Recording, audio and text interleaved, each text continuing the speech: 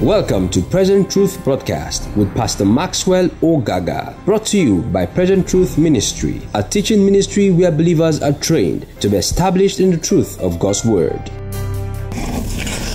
Ready? Yeah. Okay. Um,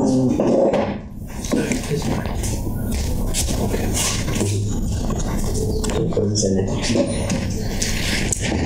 Hello, welcome to today's broadcast. I'm excited that you tuned in today. My name is Maxwell Ogaga. I'm excited that you tuned in today. I'm teaching from my brand new book. It's called Love Lust and Lies Fundamental Laws of Relationship. I wrote this book to help uh, people get it right when it comes to the subject of relationship. I think fundamentally, uh, the, the, the things you observe or what you look into before you get married is very, very important and it contributes to a large extent um, your choices of getting it right. So, a couple of chapters in this book, but I'm going to try to summarize some few points, and I'm hoping that at the end of this series, you'll be able to get um, to get the book and read and study, share with your friends.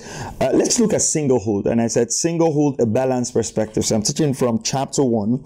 I said singlehood, a balanced perspective. Singlehood is more than a waiting room to meet Mr. or Mrs. Right. Life is in seasons and phases. That means at a particular season, there is something you should be found doing or actively learning. Understanding this will put less pressure on you waiting to get to the next season of your life. So, what does that mean?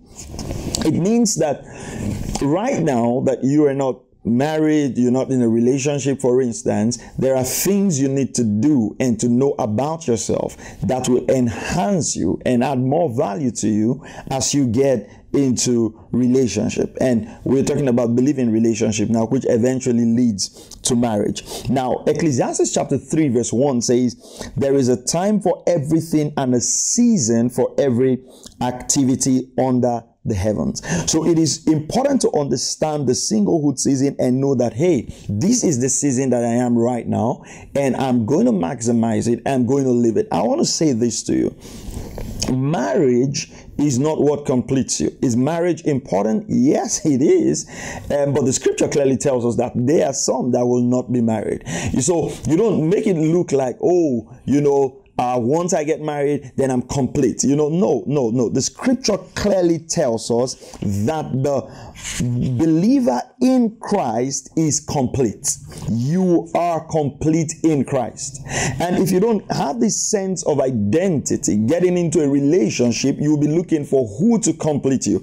Now, Ephesians 2.10 says, So you also are complete through your union with Christ through your union with Christ, the New Living Translation, through your union with Christ, you are complete. So, if you're born again, you are complete in Christ. You're not looking for who to complete you. You are already complete in Christ. What should you do during your single period also? It's the time to be driven by value and purpose. That's when you find out God's purpose for your life, and that's when you go about accomplishing it. That's when you go about building the capacity needed to be of value to the world. So your single period is a is not just the waiting room. You're not just waiting to get married. You're actively pursuing your purpose. You're actively developing and cultivating your relationship with God. You're actively finding out God's purpose for bringing you here on earth.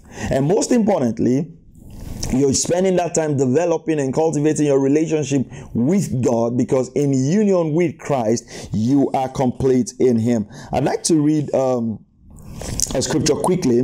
Proverbs 4.25 it says let your eyes look forward fix your gaze straight ahead carefully consider the path for your feet and all your ways will be established. Praise the name of the lord. So your single period is a time of focus is a time of pursuing purpose. We're going to continue this uh, next broadcast. There's information on the screen on how you can get a copy of the book. And the next broadcast, we're going to look at ways to maximize your single period. May God bless you. May He keep you and may He cause His face to shine upon you. God bless you.